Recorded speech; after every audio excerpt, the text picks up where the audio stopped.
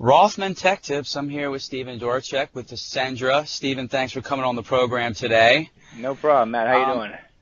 Good, good. Uh, Stephen's going to talk to us today about Microsoft Lync.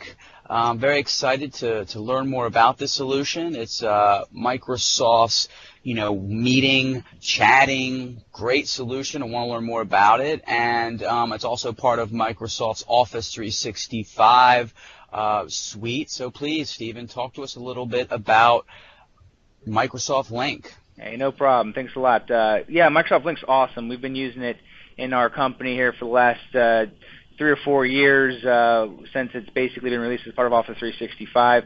Uh, we also use it uh, from an enterprise enterprise voice perspective as well. So again, at, at its core, you know, it, it's founded on the principles of instant messaging and presence. So for those of you back that used to do AOL instant messaging, um, that's kind of where it got its start, just being able to text back and forth between your friends, your your company workers, uh, and keep tabs on people that way. Um, from then, you know, Skype came out and was a big offering which Microsoft has now purchased, uh, and that was really great for kind of point-to-point, uh, computer-to-computer conversations uh, straight over the straight over the computer. So if you were in the military and you're overseas, this is a great solution to be able to just call someone, see them, and talk to them uh, through the computer. And then Lync kind of expanded upon that to do things like you just talked about, uh, doing video meetings, video conferences. You don't necessarily have to be on uh, on on site anymore. You can just go, you can spin up a, a Lync meeting, and you can be there virtually. It's fantastic. And then um, and then kind of the, the the biggest piece of this all is that you can actually replace your entire phone system with Microsoft Lync. So you can get dial tone directly to your computer uh, with a soft phone and make calls to any uh, any number that's out there. So uh, lots of great things that you can do with with Lync uh, out there in, in the industry. Well, I definitely used AOL Instant Messenger way back when, so I have some fond memories of that. But so if, if I'm hearing you correctly, we can use this as an instant messenger piece. We can use it as a Skype type video chat, and then you also mentioned screen sharing, uh, being able to share screens, doing presentations, and then last but not least, I heard something about um, enterprise business phone systems. I don't know if anyone knows this out there. That was my first job at a college was selling PBXs, key systems, all phone systems. So from what I'm hearing, Lync has a tremendous amount of functionality. Absolutely correct. Yeah, they've taken a lot of different pieces, put them all together into one solution, and uh, and made it out there available to for the world. You know, and Microsoft with its with uh, like it normally does is kind of put a solution out there that's a little bit easier to uh, work with than some of the other existing solutions, and and the cost point is typically a little bit less uh, less expensive than some of those competitors. Okay, so in the past I've used products like a GoToMeeting or a Join.me. Is um, Lync a similar solution? Is it a better solution? Do they have some of the similar functionality? I think the nice thing about Lync is that it does all of those things that we talked about before, right? So, you know, GoToMeeting might be a little bit more limited in terms of just doing the video conferencing.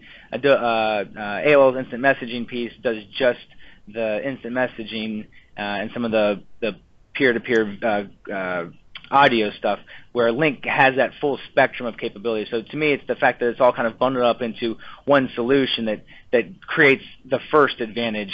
Um, some of the other major advantages I see with the Lync product is, uh, is also it's software based. Um, it's not you know require that PBX on-prem. So because it's software based, it integrates very seamlessly with multiple third-party uh, vendors. So, for example, uh, I'm using a Bluetooth. I can see you got a headset on as well. It doesn't matter if it's Plantronics, doesn't matter if it's Jabra, one of the other vendors. It works well with Lync. Uh, if you want to do a video conferencing or a room center solution, you can use you can use Smart. You can use Polycom. Doesn't matter to Lync. Um, you know, some of the other uh, you know more complex solutions might include session border controllers. There's multiple vendors out there that does that. So again, the idea that that it really is a platform um, that you can actually build workflow and different solutions on top of, as well as used for enterprise voice, as well as used for the video conferencing, the the the, the, the instant messaging presence, and the, it all kind of happens in that one single solution. Is really where where the value comes out in Lync. So you mentioned it's a software-based solution, so it's it you just install it in your servers, in your data center, whatever it is, and next thing you know, with some configuration, you are running an enterprise-wide phone system. That's correct, and, and I don't want to oversimplify the install and configuration process. I mean, it does take some knowledge and some aptitude to be able to do that correctly. But effectively, yes, it's software you install on your servers. Uh, you spin it up, you create dial plans if you're doing the enterprise voice piece, and then you can actually get to a point where you're where you're dialing and, and sending and receiving phone calls just like you would from your regular phone system. That's great. I mean, I know I've sat in on numerous Lync uh, calls where we're, you know, just kind of doing the conference calling. We've taken it like what we're doing now. Um, this is over Lync, everyone, just so you know. So doing the video chat, similar to say a Skype call or whatever it might be.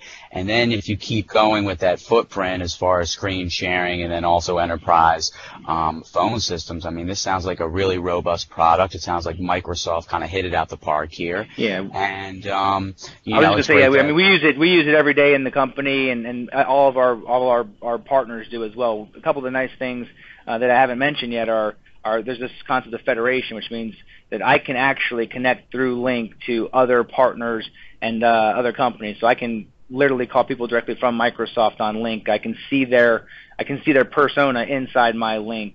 Um, so uh, other customers of ours that we have too. So if we're supporting them via a help desk solution, um, again talking about we did before, I can see that they're green, I can see they're online, and I can uh, and I can connect to them directly through Lync that way. And uh, you know, it, it really does make a lot of sense for people that are trying to communicate with partners and or customers uh, in a and again cost-effective way. It's it's it's really really fantastic that way, and uh, and the fact that it, that part of it is built in Office 365. So if you're looking for a very quick and easy, simple barrier to entry, you can spin up that that Lync online piece through Office 365, um, and you can get started literally in hours uh, to a point where you can use Lync uh, effectively inside your organization. Well, that's great, Stephen. I mean, Office 365 is a great solution. A lot of small to mid-sized organizations are moving in that direction. So the fact that they can use Lync and, and start, you know, leveraging some of that functionality is, is really great to hear. So, Stephen, thank you for educating us on Lync. I know I learned something. I hope my audience did. Uh, before I let you go, we do the I Don't Cook segment, segment of my video blog. Now, you, you're with Ascendra. You guys are located in the Herndon, Reston, Virginia area, the kind of little tech corridor here in the, the DMV, the Washington, D.C., Virginia area. Why don't you give, uh, give us a great restaurant recommendation for that area? Uh, sure, no problem. So, well, while Reston's not quite the social hotspot that DC is these days, um, there is a little location uh, called the Reston Town Center, which is pretty popular out our way.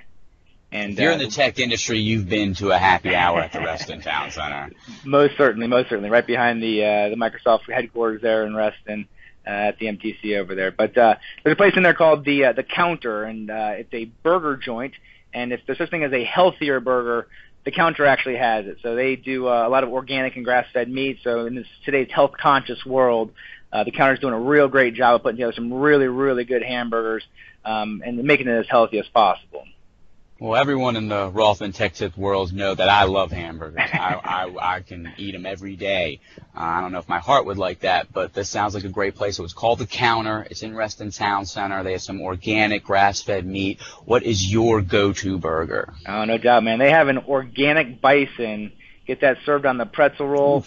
Me personally, I like mine a little spicy. They'll do pepper jack cheese. They'll do jalapenos. They'll do all kinds of other good toppings, plus a bunch of dipping sauces for your for your hand cut fries. And uh, you know, quite frankly, if you want to do that uh, with a beer or with a milkshake, however you like it to wash it down, Wow, it that just sounds amazing. So a bison, organic bison burger on a pretzel roll with a beer. That that's that's awesome. We're doing it, Stephen. I'm meeting you out there, and and we're gonna hit the counter at Reston Town Center. Anytime you're ready, so am I, man.